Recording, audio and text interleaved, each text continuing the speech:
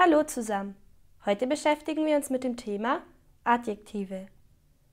Erstmal werde ich euch erklären, was Adjektive überhaupt sind und woran man sie erkennt. Adjektive sagen aus, wie etwas aussieht oder ist. Zum Beispiel Tims T-Shirt ist blau.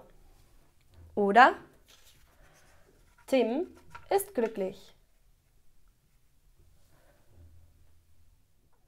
Man erkennt Adjektive daran, dass man sie steigern kann. Mila ist groß. Tim ist größer. Und Tims Vater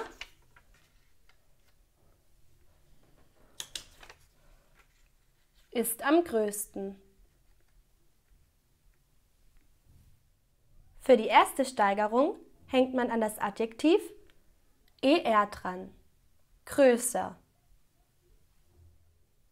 Bei der zweiten Steigerung kommt vor das Adjektiv am und an das Adjektiv die Endung sten. Aber da wir bei dem Adjektiv groß schon ein scharfes haben, wird das S nicht mehr benötigt.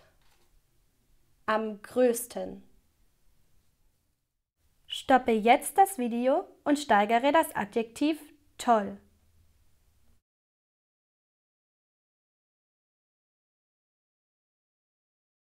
Wenn ihr alles richtig gemacht habt, solltet ihr jetzt toll, toller, am tollsten raushaben. Es gibt auch Adjektive, die unregelmäßig gesteigert werden. Diese muss man auswendig lernen. Dazu gehören gut, besser, am besten,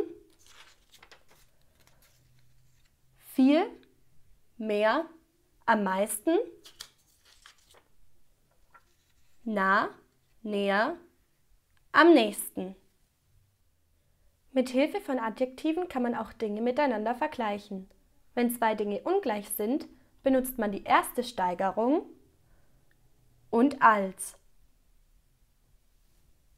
Tim ist größer als Mila, aber Tim ist kleiner als sein Vater.